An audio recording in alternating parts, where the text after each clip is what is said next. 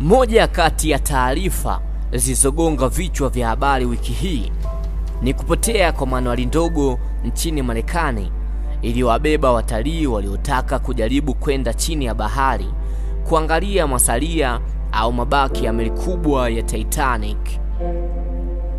Turudi nyuma kidogo, mwaka 1912 kati ya tarehe 14 au tarehe 15 Aprili, dunia ilipatwa na mshtuko baada ya kutokea kwa ajali ya meli kubwa ya Titanic iliyobeba abiria takriban watu zaidi ya 2208 iliweza kuua takriban watu 1500 huku wengine 708 waliweza kuokolewa wakiwa hai. Imepita zaidi ya miaka 111 toka kutokea kwa ajali, lakini mwaka wa 2023 kumetokea tukio jingine la kusikitisha ambalo limewaacha watu wengi na huzuni kubwa. Tarehe 18 mwezi wa sita, kikosi cha watu watano wakaamua kupanga safari ya kuelekea majini kufanya uchunguzi au udadisi kuhusu meli ya Titanic iliyozama miaka ya 111 iliyopita.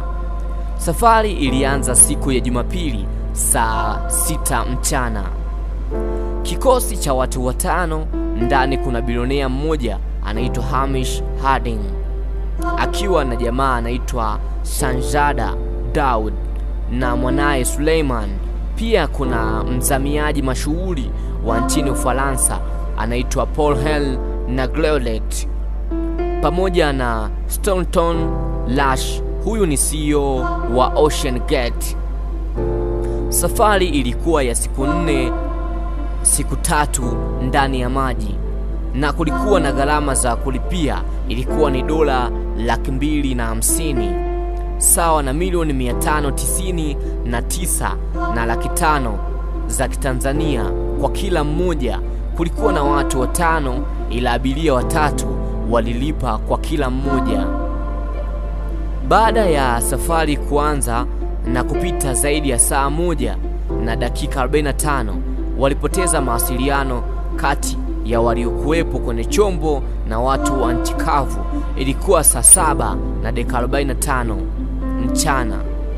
Kwa vile walikuwa wanaingia ndani ya maji na hakuna hewa ya oxygen, wakaweka mfumo wa oxygen ambao walitakiwa watumie masaa 96 ili waweze kufika na kurudi salama ndani ya siku nne tu. Walitakiwa mpaka kufikia Alhamis wawe nchi kavu saa nne au saa sita. Kwa hiyo hadi kufika Alhamis saa saba mchana hewa ya oksijeni ilikuwa imekwisha na chombo hakijaonekana.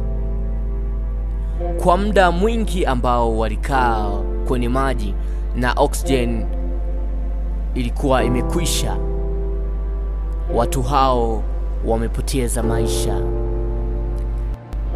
Hichi ni kisa cha kusikitisha ambacho kimetengeneza historia katika uso wa dunia.